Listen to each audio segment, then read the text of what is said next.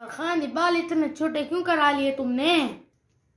ख्वाजा उसके बाद पचास का खुला नहीं था तो मैंने बोला पचास का और काट दे।